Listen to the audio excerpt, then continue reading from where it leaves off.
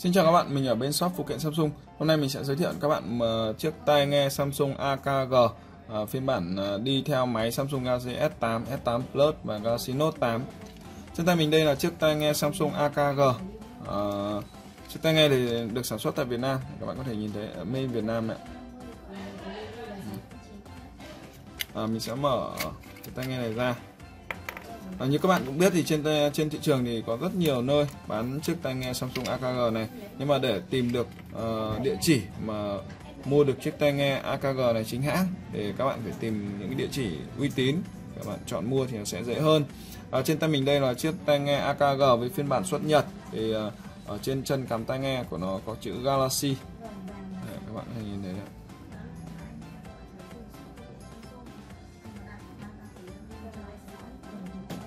Như các bạn cũng biết thì ờ, tai nghe Samsung AKG thì là tai nghe dạng dây dù chống rối. Nó rất dễ rất dễ dàng các bạn có thể vo vo lại các bạn có thể để trong túi quần hoặc là các bạn gỡ ra rất là dễ dàng. Và một số điểm để các bạn có thể chọn mua được ờ, chiếc tai nghe chính hãng này. Đấy, thứ nhất là các bạn ờ, có thể tham khảo là nhất là các bạn để ý ở cái chân phần chân cắm tai nghe.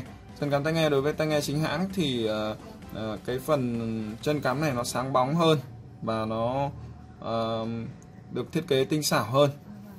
À, cái điểm thứ hai các bạn có thể phân biệt đấy là chính là cái chỗ phần phím bấm à, tăng giảm âm lượng và nhận cuộc gọi ở trên tai nghe. Thì đối với phím bấm của tai nghe chính hãng thì nó được thiết kế rất là khít. À, các bạn có thể nhìn thấy ạ. Nó được thiết kế rất là khít và các phím bấm uh, cho cái cảm giác bấm rất là nảy và ở cái cuống tai nghe thì nó có chữ Việt Nam. Mấy Việt Nam à, cái phần uh, chia dây tai nghe đó cái chữ Việt Nam in ở trên cái phần này thì được in rất là sắc nét.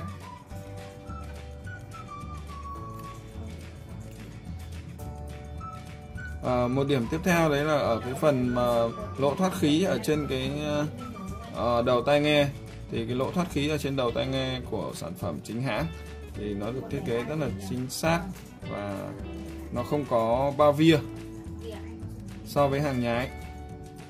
À, chữ AKG được in rất là đẹp. Đây À, còn rất nhiều điểm để các bạn có thể phân biệt được à, đâu là tai nghe chính hãng, đâu là tai nghe hàng hàng copy. À, nhưng mà trên thị trường hiện nay thì có rất nhiều loại tai nghe hàng copy. Nó copy tương đối giống so với hàng chính hãng. Ờ, cho nên là để chọn mua được tai nghe chính hãng thì ờ, các bạn nên chọn ờ, mua tại những cái điểm bán uy tín.